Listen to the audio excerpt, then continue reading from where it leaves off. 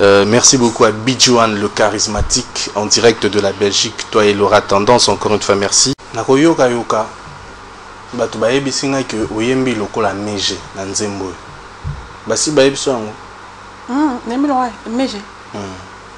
Ah, nayebi te nga kuna nayebi te quoi. Mais nga na mi nayebi ke nayebi loka The Voice quoi. Ndeko na nga Meji ayembaka bien, ayemba loka ya Meji nga nga The Voice eh, ngoma na suka. Eh, nayebi loka ngoma The Voice. Mm. Liboso ozalaka na kombo moko boye.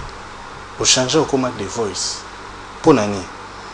te changea te eza aza nango mpe kaka wana kaka bakoma ba musique kaka bato kaka bapesaka olanda naye na makambo osala wana ya ochange bakombo ya ochange bakombo mm. ah nayebi te gwa nga mpe te na changaka bato nde bapesaka ngai bacollègue na ndako yo nano oyebani te nani moto apesaki yo kombo de voice kochange kombo eza kaka koyebana te eza nini mais wili fo oyebanga na nayebani na congo oyo epuis na balibanda vraiment nayebani kua ah. Clip oyo ebimi combien de mois ngo? En fait, eumeli quoi, eumeli mwa ndambu, j'espère que ba 4 5 mois, 5 mois tozokende. 5 mois sikoyo elekela ye ngai ke yo osali deja nzembo ya pe nzembo ya pe wana nasala ngo kala wana banini so natie kala sikoyo misi eza ba 2000 ano nasalaki yango ba 2011 na 2011 oui Esengaki yango na 2011 na kende nango na tele 50 na tiki elekaka nango mpe sikoyo bom mikie mikie kolekisa nde makongo na, na tele na nango te kua epuis eza nde mamboka nga na na mbongo obimisa nzembo fale nde bango bapanzapanza yango ma amona bakipaki yango te wana manager manager na ngai yo liboso oh. uliga embe vrai vrai kua oh, déjà Ah, bato bayebi te nao informe bango ti. Oh, Willy Kayembe, a liboso na bino, ye nde eh, vraiment manager ya- ya The Voice Ngoma. na bien. Mm. Oyebi manager ya Ya nani?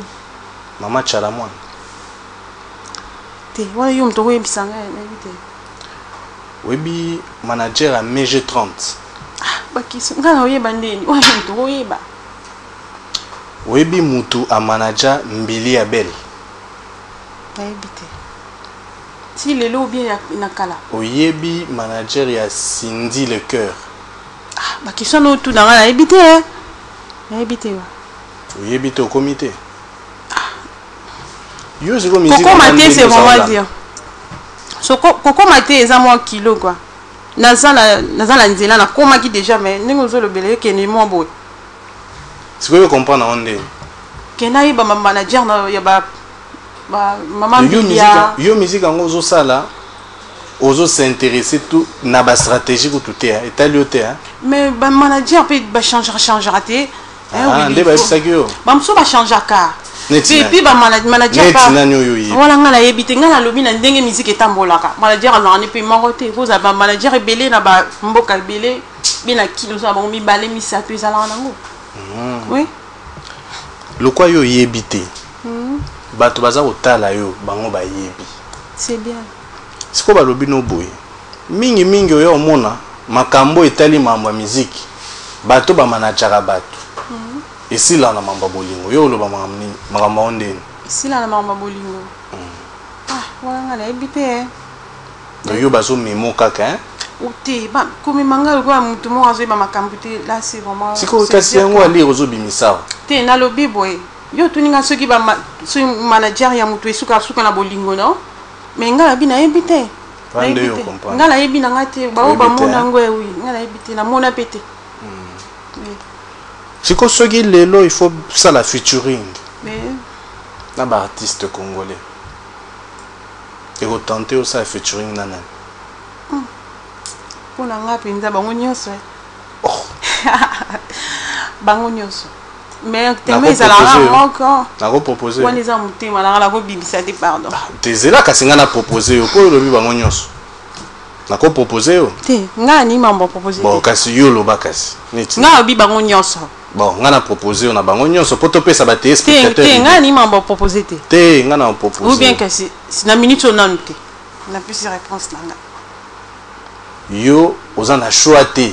Nga alobi bango nionso. Mais sikoyo ningo kontele nga yo tangela nga bato wana sikoyo nga na boyi. Na nde nio ke boya. Nga alobi ka bango nionso. Oui. Mama kama kasi hein. Ba question na nde ya makasi yo.